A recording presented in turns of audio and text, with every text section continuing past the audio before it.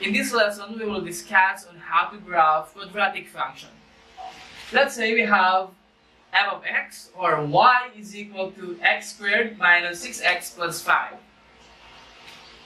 So first step, we need to find the vertex.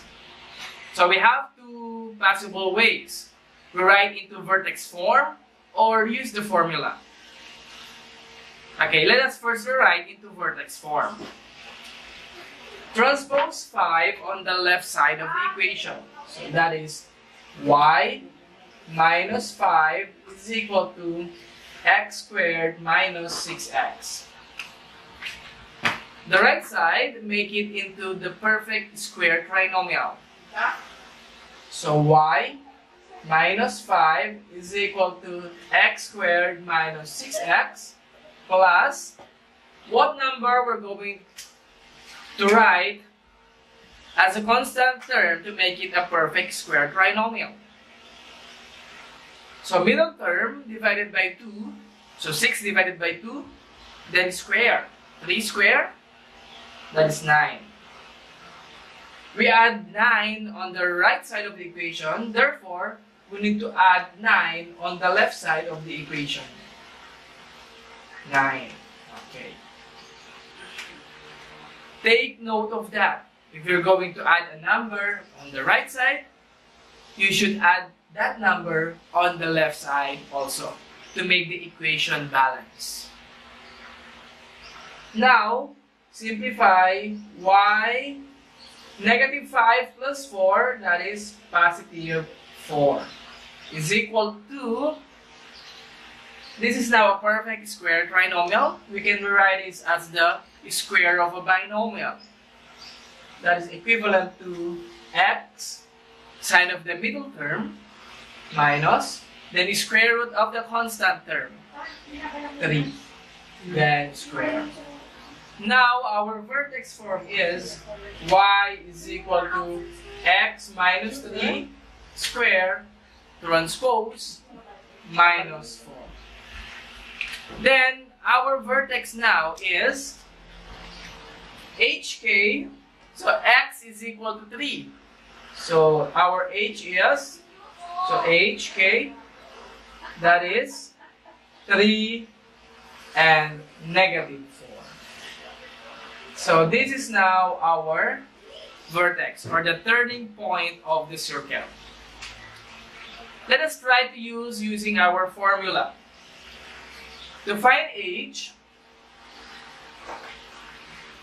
we have the formula negative b over 2a. And k, we have the formula 4ac minus b squared all over 4a. Okay, let us substitute. Negative b, so we have negative times negative 6. So that is negative times negative 6 over 2 times our a is 1.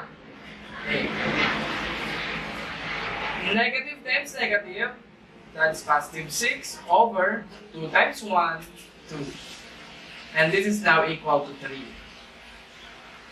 Our h is 3. For k, 4 times 1 is, uh, a is 1, c is positive 5, minus b squared. So our b is negative 6 squared. All over 4 times a is 1. So we now have 4 times 1 4 times 1, that is 4 times 5. So this is 20. 20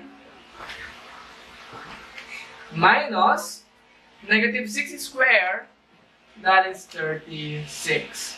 All over 4. 20 minus 36, that is negative 16 over 4, and this will give us negative 4. Negative 4 is equal to our k. So They are the same. h is 3, k is negative 4.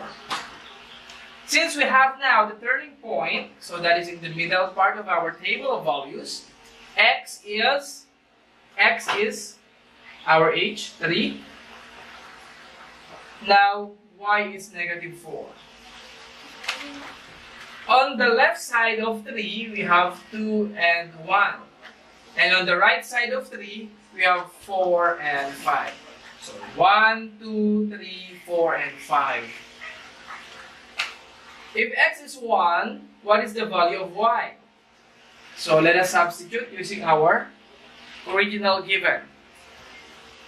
So if x is equal to 1, so y is equal to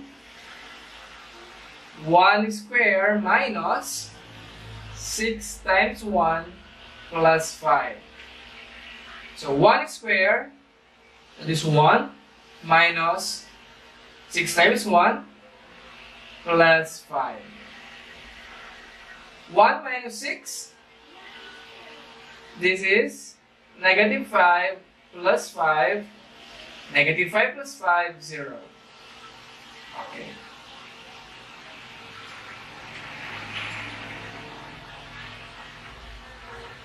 So if x is 1, y is 0. y is 0. Next, if x is 2, y is equal to 2 square minus 6 times 2 plus 5. 2 square is 4. Negative 6 times 2, negative 12 plus 5. 4 minus 12, that is negative 8, plus 5, negative 3. If x, if x is equal to 2, then y is negative 3. So write negative 3.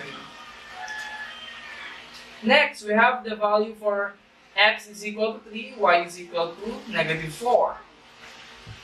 Find x when x is equal to 4. So y is equal to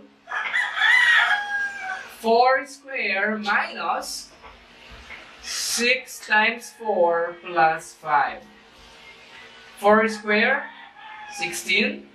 Negative 4, or negative 6 times 4, 6, 12, 18, 24. Negative 24 plus 5. So 16 plus 5, that is 21 minus 24, negative 3. So y is negative 3. Negative 3. If you can see the pattern, 2, negative 3, 4, negative 3, therefore, we can conclude that if x is equal to 5, y is equal to 0. Okay, let us check. If x is equal to 5, so we have y is equal to 5 squared, so that is 25 minus 6 times 5. That is 30 plus 5. So 25 plus 5, that is 30 minus 30, is 0. So this is our table of values. Now let us graph using our Cartesian plane. x is 1, y is 0. x is 1, y is 0. So the point is here. Next, 2, negative 3. So 2, then down to negative 3. This is our second point. Our turning point is 3, negative 4.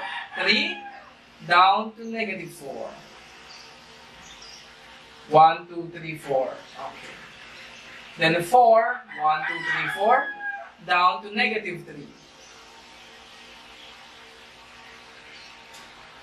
Then 5, 0.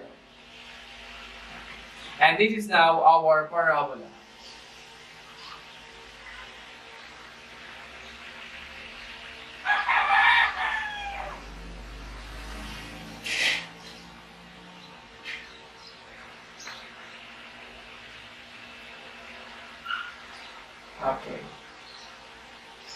Our parabola opens upward because our a is greater than 0. So this is the graph of quadratic function.